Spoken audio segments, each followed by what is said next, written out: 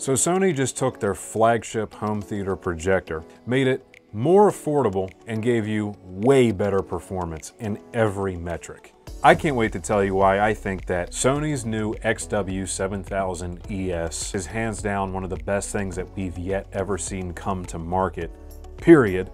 And I just love this whole set of features that Sony packed in to ensure that they were going to deliver an absolute knockout punch in this realm of high-end home theater. However, before we get into it, don't forget to subscribe to the channel, and here is your question of the day.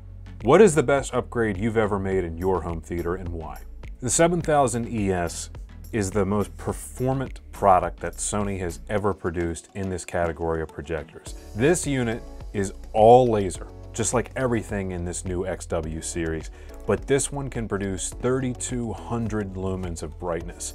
Punchy, bright, detailed colors, incredible contrast with dark scenes, highlights that look like they were perfectly penciled in by an artist in between those bright and dark spots because of the laser accuracy. A DCPI of 95%, which puts this above even the best TVs for color reproduction. There is just so much that this unit can do that took a guy like me who generally isn't even that much of a projector enthusiast and made one out of him. Just like that.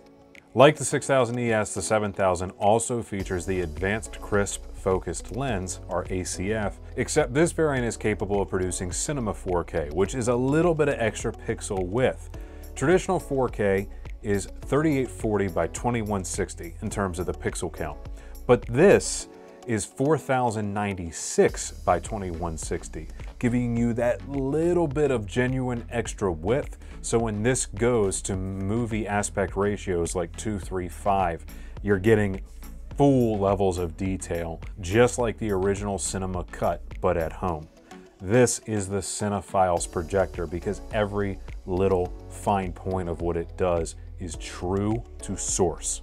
And with it also featuring Sony's X1 processor for projectors, the processor descended from the Raptor projector, it's over for just under $28,000. While I do think the 6000 is the best value in the whole new lineup, the 7000 for those of us who want the flagship endgame experience is still a great value, and here's why. This is over $12,000 cheaper than the outgoing Sony flagship, the 1025 ES, and it is 1000 lumens brighter, has a much better lens, and has the X1 processor for projectors that descended from the Raptor.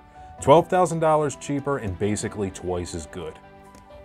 No brainer. Click the link down below. You can secure checkout on Sky, and once that free shipping arrives at your door, have at it, my friends.